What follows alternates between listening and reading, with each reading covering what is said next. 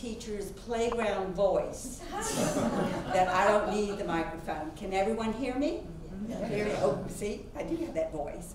Um, we're so pleased to have us join us as we begin, as Betsy said, our fall series of history talks.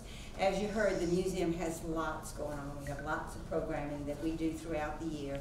And it's the support of our members and friends who that make all that we do possible. So come out and take one of our special tours at the cemetery or participate in uh, one of our uh, guided tours that we have in the neighborhoods as we give the history there as well. And our program tonight is in conjunction with the 100th anniversary, the centennial celebration of our train station, which was designed by Ashland native Duncan Lee and opened in August of 1923. Now, in, now tonight's program, I am especially delighted to welcome our speaker, who is also a friend, Dick Beadles. And he has his two daughters with him this evening, Dabney and Debbie. Welcome as well. Yeah, yeah, yeah. So um, when I read the remarks that Dick sent for me to use for his introduction, I knew that I could not change his wording. For within his words, you will discover his wit and humor, his love of our natural environment, as well as his passion for the railroads and transportation. Tonight, we will be treated, you will be treated as you learn and discover the many ups and downs the tracks of railroading in Ashland. So Dick, as I begin, I'm going to start with your words and we get a little history. He, he began in Chesterfield County, but it wasn't long before that was annexed by the city in 1942.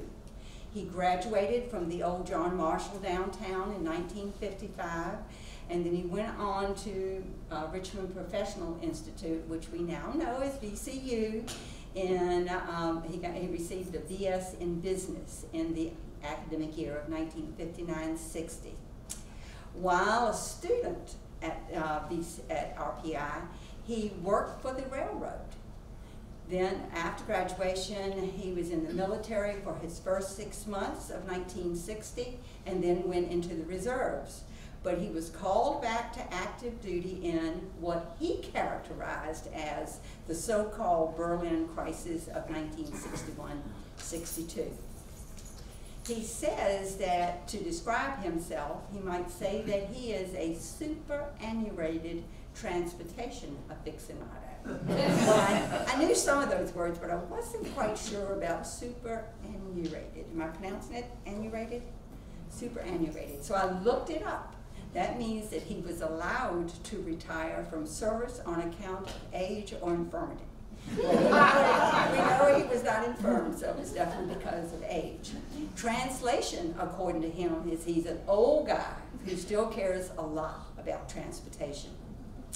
The retired transportation and real estate executive discovered his passion for multimodal transportation at a very early age. Soon thereafter, he gained firsthand awareness of the fragile state of our natural environment.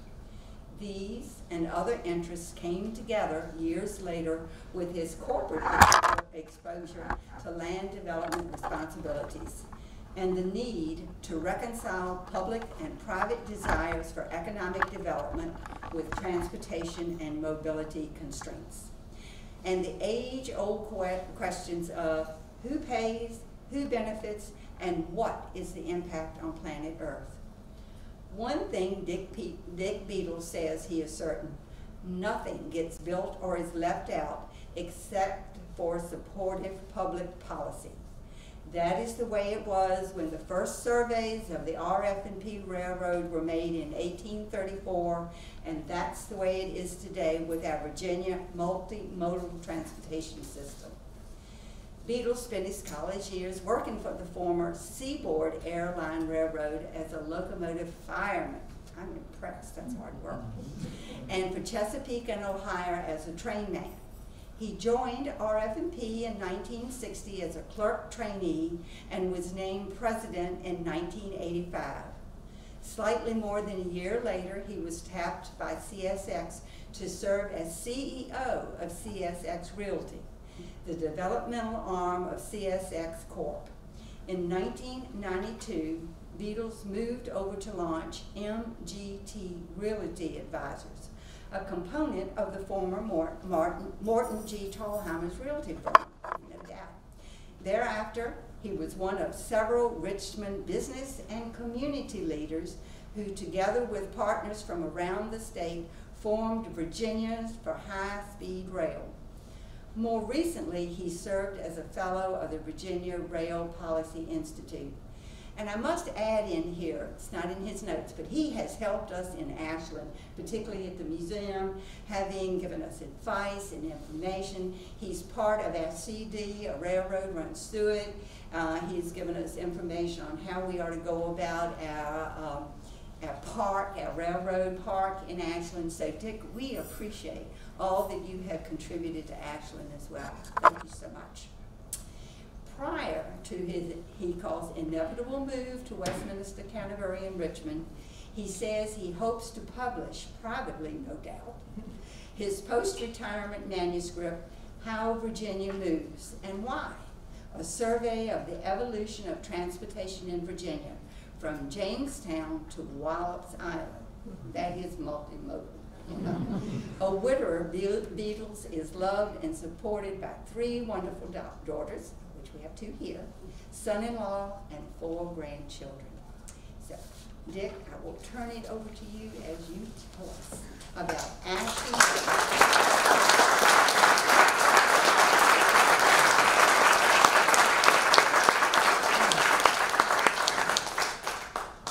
Thank you, Ann. I may be one of those that doesn't need the mic. uh, If anybody can't hear me, let me know. I took my jacket off because I see everybody else is doing likewise. Some people can't hear you. Can't hear, okay, there you go. All right, can you hear me now? Yeah. I took my jacket off because I see that this is a fairly casual audience, and as any good stump speaker would do, the first thing you do is take your jacket off. trying to think of something to say. Uh, I'm delighted to be here. I always enjoy being in Ashland uh, for any, almost any occasion. And uh, uh Anne, thank you for the lengthy, lengthy begged her to cut it short, but she doesn't listen to me.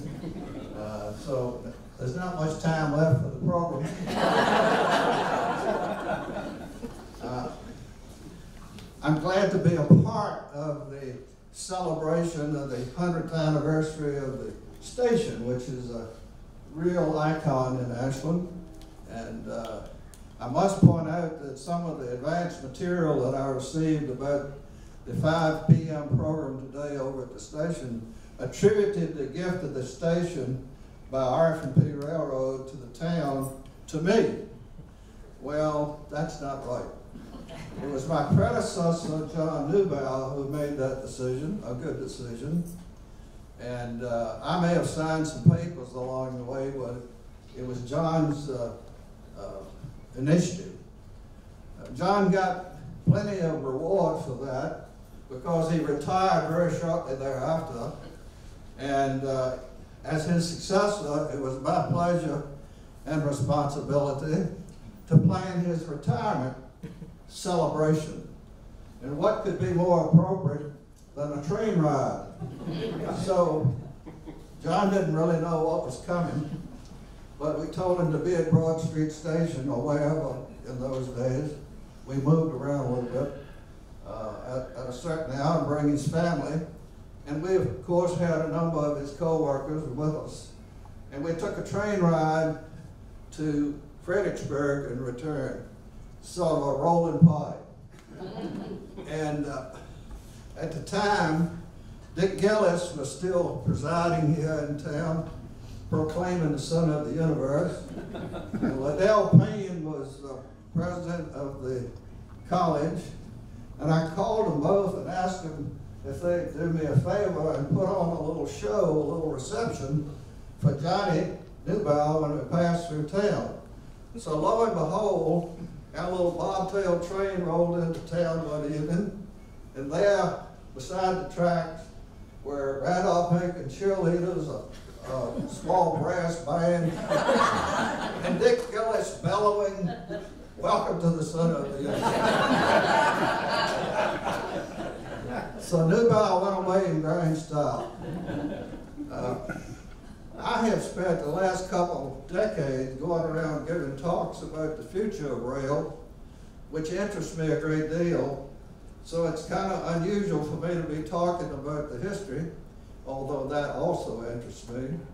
So I'll do the best I can to relate some RF&P history that I think is relevant to Ashland, but I'm staying completely away from Ashland town history because the room is full of historians. and I'm not a historian.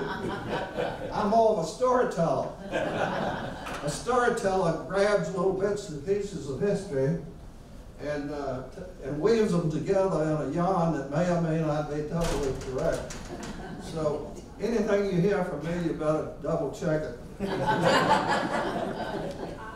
But I like to, I like to turn my mind back in time to the beginning of the 19th century, uh, which is a pretty stark picture of transportation in Virginia.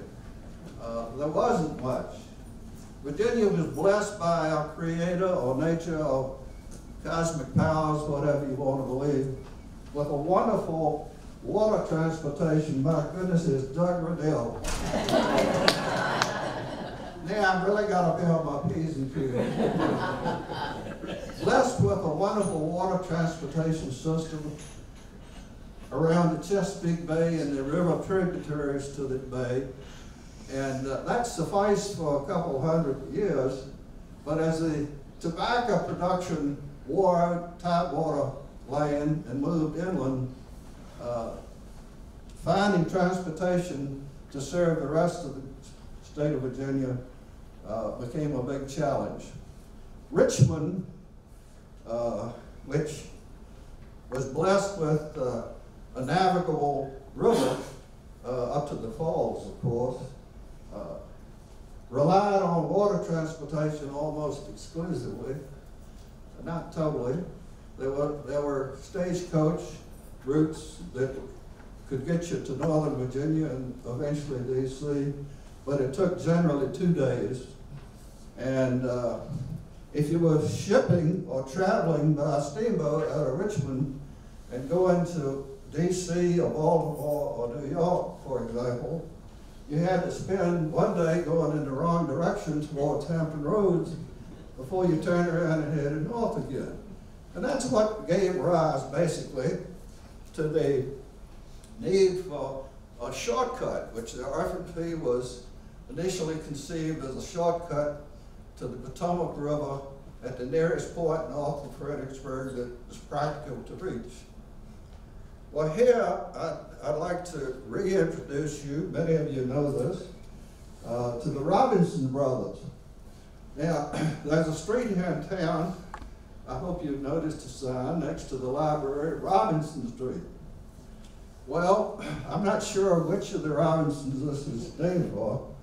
There were at least three brothers, maybe more, but three that had a direct bearing on RF&P's early history and in fact continuing history up to a point. There was Moncure, the engineer, civil engineer. There was Conway, the uh, lawyer, a distinguished lawyer, I might say. And there was Edwin, the budding real estate developer, who did like most real estate developers, finally went broke. you know that story. But by the way, I didn't know that story until I read Rosanne Shalf's book on Ashland history. Working for the RFP in days of old was kind of like being part of an old Southern family. We didn't talk about crazy aunts or alcoholic uh, uncles, and therefore there were two company-sponsored histories, Mordecai's in 1940 and, and Bill Griffin's uh, later, uh, that completely omitted Edwin Robinson's disgrace, that is insofar as the board of directors was concerned, by overextending the company here in, in town real estate development. But Moncure, who was born in 1802, was, uh, I think, the most interesting character. He was clearly a bright young man. He matriculated at William and Mary. He didn't graduate, I don't think.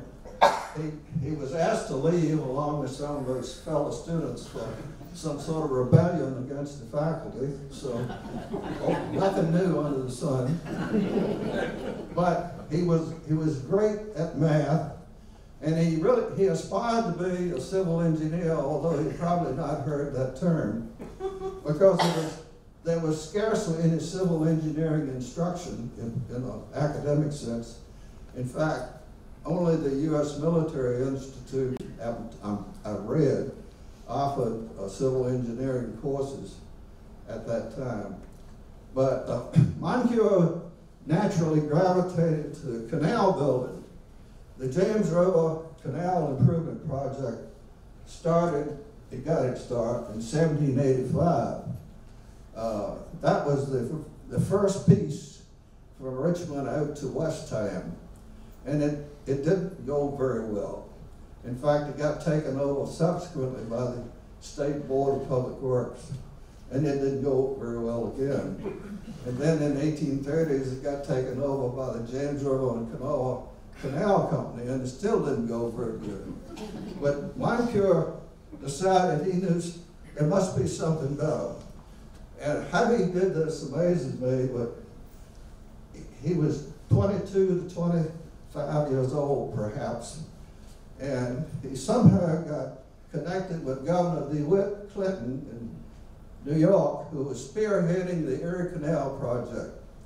I'm sure you all remember the Erie Canal was was a breakthrough in inland transportation in America, and it was a great success story.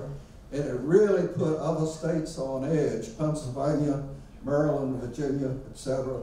And so there was a lot of pressure to press forward with canal building, even though they were looking at the Allegheny Range of mountains, which should have told them something.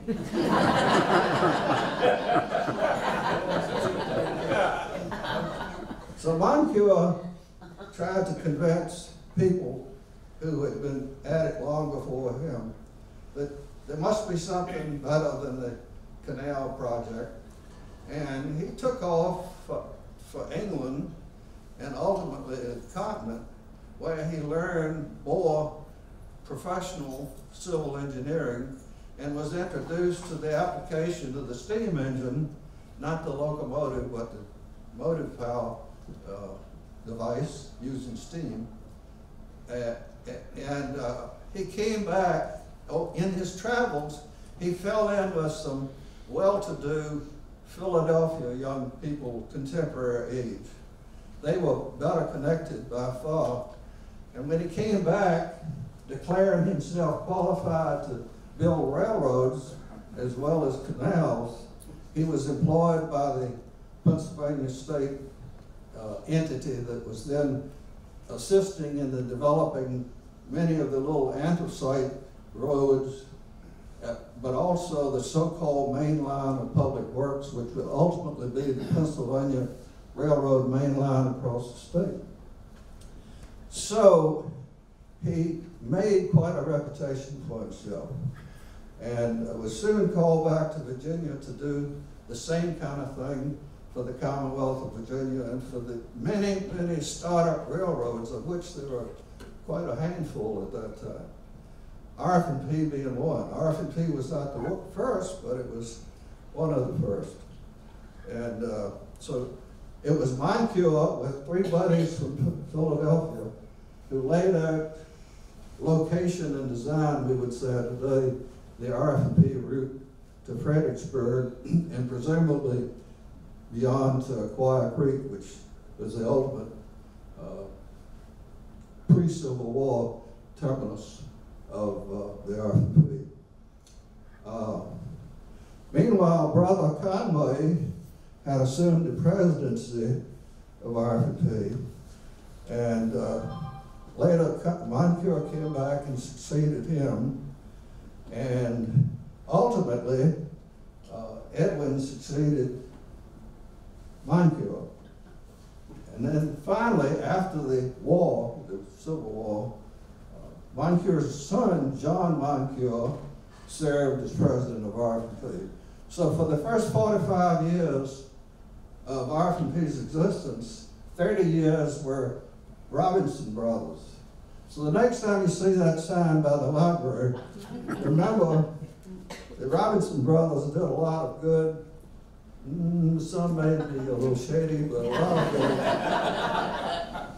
And I like to think, what in the world did this piece of God's creation, where we stand, look like in eighteen hundred or, or eighteen thirty-four, even when you, when RFP received its charter?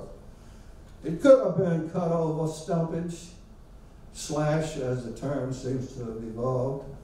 Uh, it could have been some worn-out tobacco plots, because as you know, tobacco tended to wear out the fertility of the soil.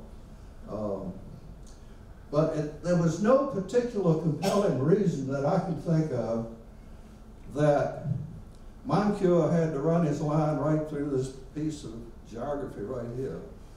He, his mission was to go to Fredericksburg and then beyond Fredericksburg to nearest practical point on the Potomac. Uh, there was something else, two other things that influenced the routing of R&P. Uh, there was coal all around Richmond, to the west of Richmond, including the Springfield coal pits, uh, also known as deep run coal pits, most particularly concentrated around Gaskin, what today is Gaskins and Broad. So Moncure ran his line not due north, but north northwest to Hungary Station, what became Hungary Station, which today is known as Laurel. And, and had that line been extended, the R&P would have wound up somewhere around Montpelier on Route 33. But so the first real curve in R&P is at Laurel. And that's not the last curve. there are a lot of curves in the R&P, contrary to the promotional material that shows straight line. Uh, the other thing that interested Moncure and impacted the location and benefited Ash, future Ashland was the need to connect with the then under consideration Louisa Railroad.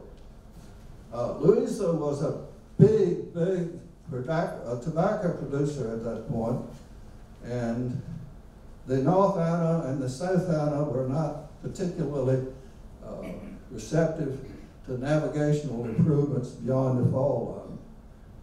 So some of the same shakers and movers in Richmond and environs who had conceived the RFP also were collaborating with Louisa interests to build a railroad to connect with the RFP somewhere around Taylorsville or what is now Doswell. And uh, Moncure Robinson designed that line, laid out that line. And for, for about 10 years, the RFP operated the Louisa Railroad. And to Brother Edwin, all of the Robinson brothers were given to having di- disagreements with business partners and others. Uh, the, the head of the Louisa Railroad was uh, Edwin Fontaine. And Edwin Fontaine and Edwin Robinson had a big feud that resulted in termination of that working arrangement between the two. And that's what led to Edmund Fontaine and his board deciding to press on east of Doswell, of course they call it Hanover Crossing or Hanover Junction at that point. So the line between Doswell and Hanover Courthouse and Atlee and ultimately Richmond Main Street Station came about because RFP messed up something that could have worked very well. Um, anyhow, Uh, we know what happened during the Civil War, and it doesn't need to be uh, replayed, except uh, the, when Edwin Robinson lost his job as president of RFP in 1860, he was succeeded by uh, a gentleman by the name of uh, Daniel. And Peter, Peter. Daniel Jr., Peter V. Daniel Jr. Uh, Daniel held on for a long period of time through difficult conditions. He also apparently tolerated uh, a disloyal, southern perspective, uh, superintendent of transportation by the name of Ruth. Uh, I never could figure out just what Ruth did bad, but he, he had the audacity after the war to apply for a federal pension, claiming that he had helped the federal uh, side. And maybe he did. I don't know the history in detail. Uh, I do know that Peter Daniels' father has an infamous reputation. He was, an, he was a sitting Supreme Court justice in Washington and before the war, and I guess during the war. Um, and he is he wrote the concurring opinion in uh, the Dred Scott case, which we remember to this day as the infamous Supreme Court decision that declared slaves were property, not people. So we have a lot of stuff to be ashamed of in our history, as well as things that we can be proud of. After the war, the Arthur Daniel, Peter Daniel, found a, a young engineer by the name of, well, he was known as Major Myers, Major because of his service in the Confederate military as a construction man. Uh, uh, Major Myers had worked for uh, Crozet, Claudius Crozet, on a number of projects prior to the war, including the great Blue Ridge Tunnel on Afton Mountain and Rockville, Rockfish Gap. Well, Major Myers turned out to be a real gem, and he got the RFP humming, and in the 80s and 90s, and he became president through the, at the turn of the century. And when he died in 1905, he was serving as president of the company, and it was he that had double-tracked the railroad. So that was the first second track in Ashland, and I don't think he was stoned for it at the time. Uh, but anyhow, I never, in looking at, and I have looked at most of the RFP annual reports over the years, and I, nobody ever got a, a final uh, salute, uh, commemorative recognition in one of the annual reports than E.D.T. Myers, who, by the way, interestingly, wound up being a Jewish Episcopalian. Which, anyhow, he was he was much admired, and after the, he was succeeded by um, there were several interim presidents, and then there was a lawyer from Norfolk by the name of White that was president for a while, and uh, about the time Mr. White came on board, and and, I, and maybe Major Myers hired this fellow, but uh, Edgar M. Hastings showed up. Edgar M. Hastings, a native of Lutherville, Maryland, uh, born in 1883 or 84, uh, was another engineer of distinction. Uh, Major uh, E.G. Edgar, Edgar Hastings served from in engineering capacities from 1905 or 6 to 1950. And he was responsible for every major project from the James River, the classic James River Bridge in Richmond, uh, to Broad Street Station, uh, to Potomac Yard, and many other things in between. But the reason I like to bring up Mr. Hastings at this point uh, is that I think he lived in Ashland for a while. And the reason I think he lived in Ashland for a while, one of his sons, David C. Hastings, was born in Ashland on Christmas Day, 1915. And Edgar G. Hastings is buried in Woodland, is it Woodland or Woodland Cemetery in.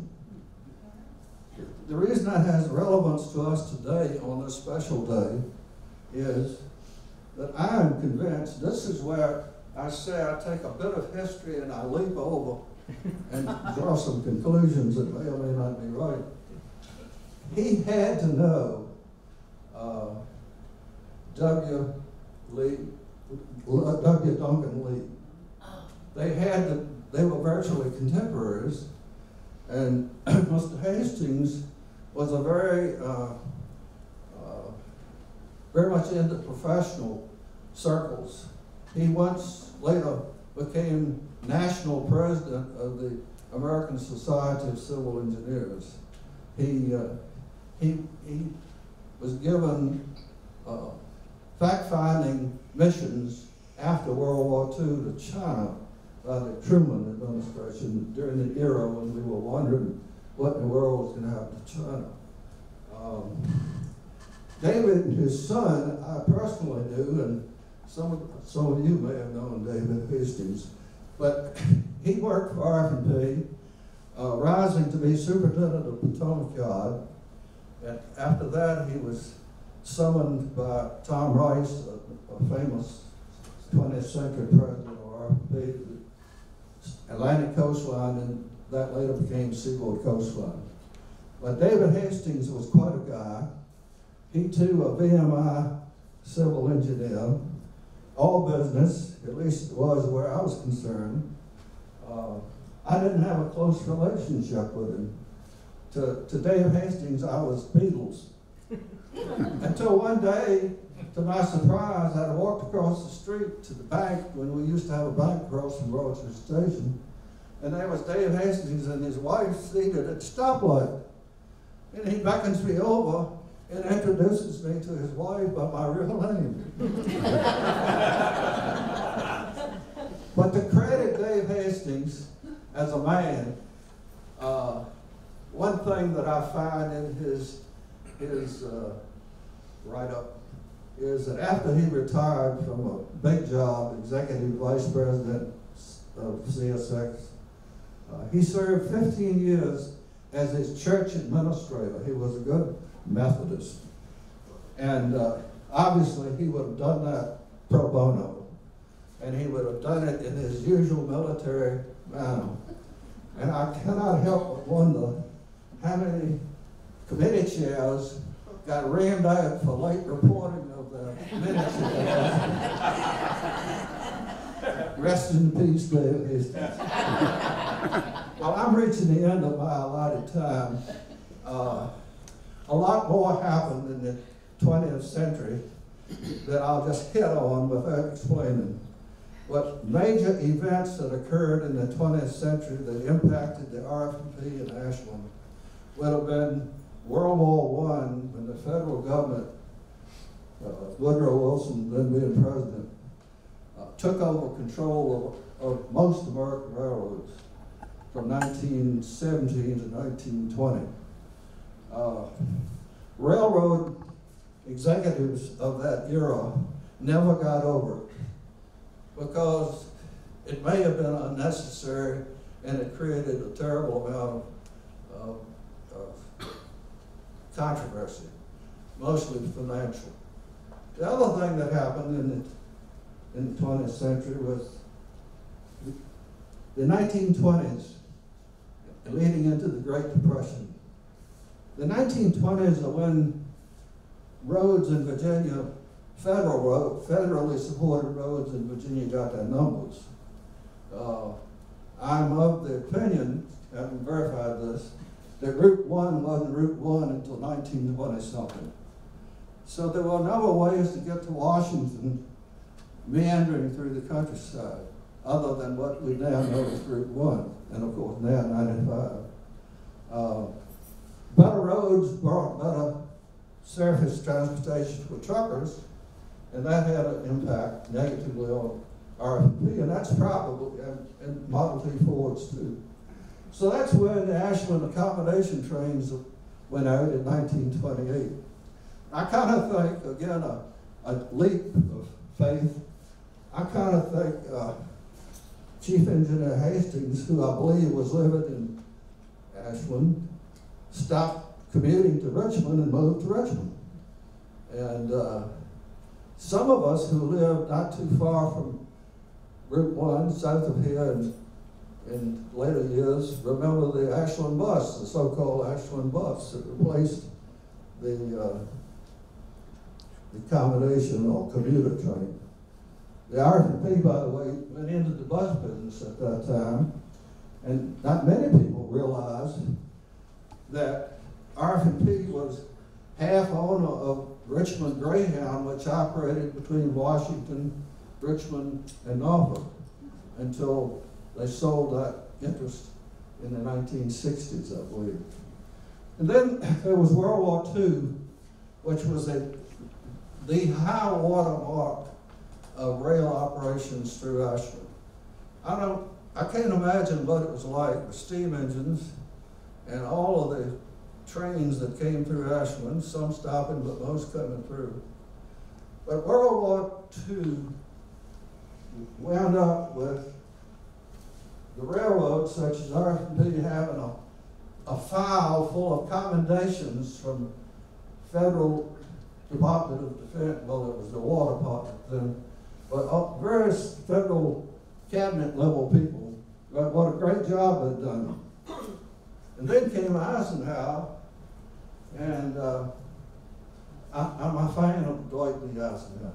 But Eisenhower didn't give a rip about railroads, and most people, most GIs who had ridden troop trains didn't give a rip about railroads either. so we had the, we had the Interstate Highway Act of 1956, and that that had the greatest negative impact. I'm not condemning the interstate highway system. I'm just saying it had the greatest negative business impact on RFP and its business. And that's how people stopped getting on off the train at Ashland, most of them. Anyhow, as I indicated at the outset, I like to talk about the future of rail, which is full of exciting news of things that are happening, which we will, go, will not go into tonight. But uh, if I live long enough and you get desperate enough, for another speaker someday, I'll tell you what, what is happening north of us, particularly at this time. It's amazing. It's big time civil engineering work. It's, it has enormous positive implications for rail, and ultimately it has implications for Ashland. And with that, I'll turn the mic over to whomever would like to claim it. And thank you for your That would be.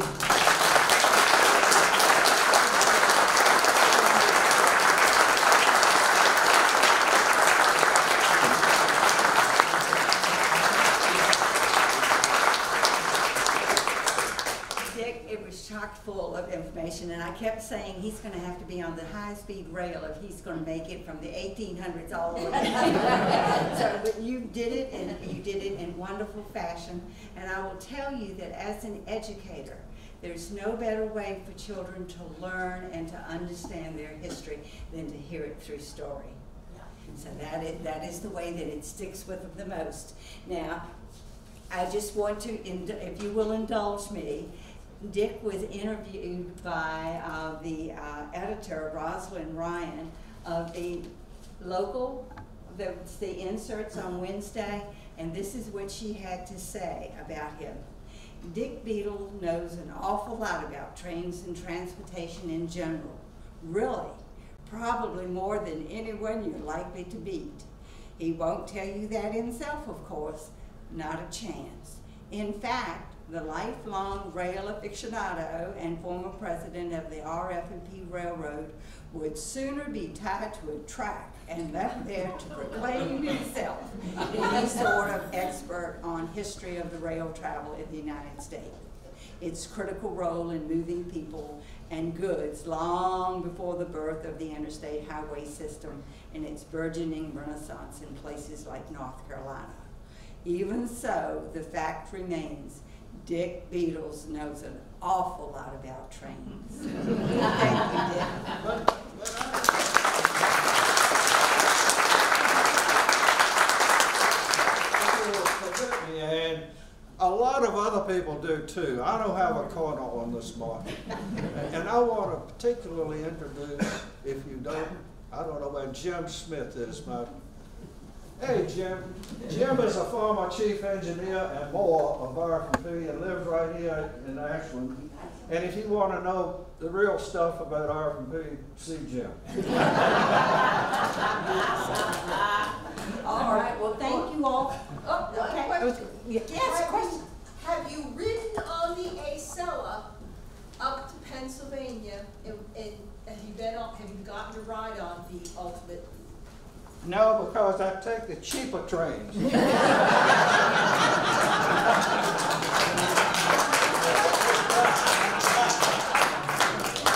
And I have a question. Okay. Tell me this, all of us at Randolph Macon think that really bringing the college here is what saved the RF&P. Is that true?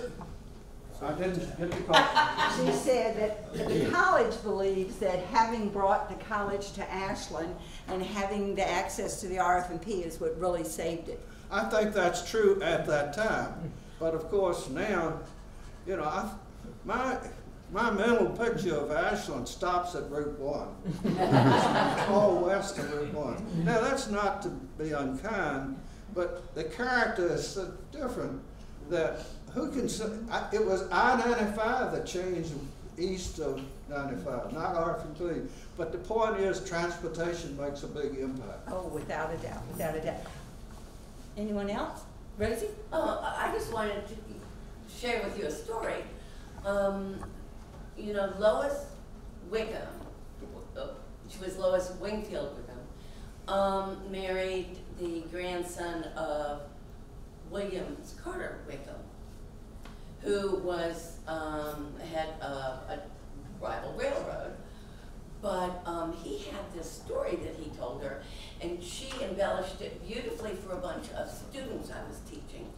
One time we interviewed her, she said, it was in the middle of the night, and all these railroad people came the, uh, and finished the line, the Louisa line, across the RF&P line in the middle of the night. There wasn't anything RF&P could do about it. And it was the only, uh, she said something about they were concerned about it because it was an at-grade crossing. And it Uh. I can't, I can't speak to that, uh, but I can tell you that it generated a Supre- US Supreme Court case as to whether the Virginia Central could in fact legally cross there. Yeah, what, oh, what, called? My, my grandfather got a college degree in civil engineering in nineteen oh one, so there were a few around in those days. What, what, what explains the, uh, you made reference to this earlier, the big loop that the RFP makes from Ruther Glen over to Guilford and back around, when he could have gone straight ahead? Well, Jim Smith and I had a conversation about that recently. He's smiling, he must know. the He's a local expert, so you see him. I was born on that curve. Uh, Anyone else have a question? Yeah. Yes. I have a question about Potomac Yards. Uh, that's a gold mine. When did the railroad, did the railroad company sell that property? I don't know that we have time. This defies a, a real quick answer, but the, the short answer, which doesn't do justice to it, is the state of Virginia acquired RFP's real estate in nineteen ninety-one. And the railroad went to CSX Car. And so whatever, uh, blame or credit you, you, you have to give to the state. But we had done, we had done for many years planning to facilitate the redevelopment of Potomac Yard. Now, this, this, this puts me in a terrible conflict because, as my all too lengthy intro indicated, I, I had real estate involvement on behalf of the railroad as well as transportation. And what happened to Potomac Yard was, after the Interstate Highway Act of nineteen fifty-six, the railroads gradually got out of what I call the retail transportation business. They stopped handling small shipments, and they stopped serving individual, a car here, a car there. So they wanted to do volume business, like, remember the, the orange juice cars that come through? Oh, yeah. Well, they love to do big, big slugs of business and not wholesale type, rather retail. Potomac Yard, which once had almost a hundred classification tracks. Classification tracks are like a postal clerk's sorting mail, you know, putting cars according to the ultimate destination. That, that function dried up over time. So what- the Potomac Yard was, was in fact a potential gold mine. But before you count your money, you better see the powers that be in the city of Alexandria and Arlington County because they extracted their price for permitting you. See, railroad property was just kind of painted as always railroad. And it wasn't integrated into the transportation and utilities network of localities. So you have to kind of start from scratch when you develop railroad property. Don't sit down, Dick, I have a question for you too. Now, you, did you visit for many years Ashland once a year and there was some kind of waiver that you had to sign? Well, I, I should have said, if I haven't conveyed by my actions, I'm probably the most insignificant president R and P ever had. and, so. Ann asked me if it, if it was anything I ever did for Ashland, and, uh, I had a hard time coming up with it.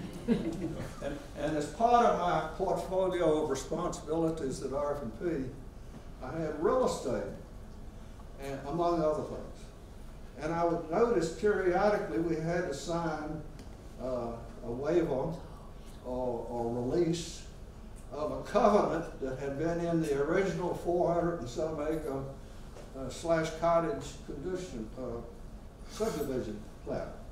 The covenant said in my lang, my terms, thou shalt not, uh, make, store, consume, or sell alcoholic beverages on this property.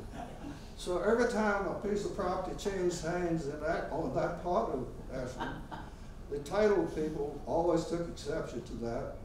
And they, they would contact the RFP, and we just had a standard procedure for a hundred dollars, we ran around and got the signatures and, and exempted that for, for that lot. Well, I, we probably lost two hundred dollars making a hundred dollars. Typical railroad pricing.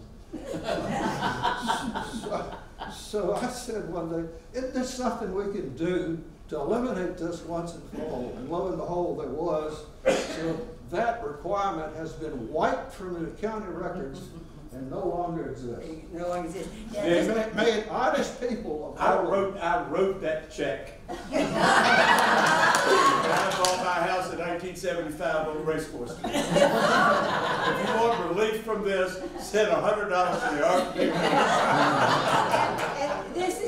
And this is me making my big leap about history. My philosophy about it is, is that with that resort and everything here, they didn't want any competition with anybody having their drinks anywhere no. else except. They were not Right. teetotal. Buying it from them. Riders and spirituous liquors. But anyway, that's a lovely story, and thank you for sharing it with us. That, oh, we got another question back here. You, you talked about competition, and I got here late, so I'm not sure whether you covered this or not. The, the, uh, when the RFP was chartered, they were given, uh, a, was it a hundred-year deal with the state of Virginia where, whereby nobody could build a parallel railroad between Richmond and Washington. And, uh, basically, uh, How did, how did that, how was that resolved? It came, it first came to a head, uh, in eighteen fifty, when the Virginia Central, which was the successor to Louisa Railroad, wanted to cross the RFP at Doswell or to Hanover Junction. Uh, It, and it, and it, uh, the court ruling was ambiguous. Uh, basically, it said, as long as they just go into Richmond and not to Fredericksburg and Washington, they can do it. That's my interpretation. Uh, It, it got more serious at the turn of the twentieth century, nineteen hundred, when John Skelton Williams, who was building the Seaboard Railroad into Richmond, applied for a charter to build all the way to DC parallel in RFP. And the legislature finally said, okay, John Skelton Williams, you can build your railroad by the RFP, but not until somebody has bought us out of our ownership of RFP at a premium price, which never happened. Oh, but, but then, but then, um, another thing happened. Um, they decided to do a trolley line, which wasn't really a trolley line, it was a railroad line from Richmond to Ashland. And there was a big hullabaloo about, and it was the same thing. But those people said, oh no, we're not going up to Washington, we're gonna go to Northern Neck, and we're gonna take, um, uh, freight, you know, um, uh, farm, uh, produce to the Northern Neck. And, you know, the, the, the trolley line was a big deal. But that, now I understand why they claimed they were gonna go to the Northern Neck and not up to DC. It's because of that poor thing. Well, Dick, again, thank you for coming to Ashland once again.